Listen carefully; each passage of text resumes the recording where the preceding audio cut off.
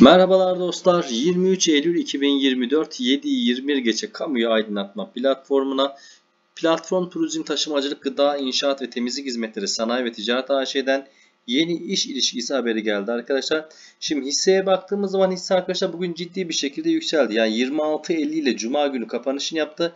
28 lira 18 kuruştan bugün en yükseğini gördü. Yaklaşık 1 lira arkadaşlar 70 68 kuruş yükseldi. %5'in e, üzerinde arkadaşlar bir %6 yakın bir yükseliş yaptı ama ondan sonra tabii yumuşadı.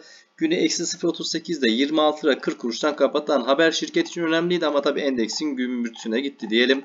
Habere bakalım nedir ne değildir diye. Şimdi 2024'de 108 36 50 ihale kayıt numaralı İstanbul Büyükşehir Belediyesi Destek Hizmetleri Şube Müdürlüğü tarafından yapılan araç kiralama hizmet alım işi 3 milyar 60 milyon 871 bin küsuratlı T artı KDV bedeliyle ekonomik olarak en avantajlı teklif sahibi olan firmamız üzerine kalmış olup kesinleşen ihale kararı tarafımıza tebliğ edilmiştir. İhale mevzuatı kapsamında sözleşme imzalanması için davet beklenmektedir arkadaşlar. 5 ee, iş günü içerisinde davet edecek 13 gününe kadar imzalaması için süreç oluşur. Kamuoyu ve değerli yatırımcılarımıza saygıyla duyurulur demişler. Hayırlısı olsun diyelim. Kanalıma abone olmayı unutmayın. İyi akşamlar diyorum. Teşekkür ederim. Bu arada arkadaşlar olumlu yönde etkisi beklenmektedir demiş ama tabi orta ve uzun vade için kısa vade için şu anda çok da bir olumlusunu göremedik açıkçası.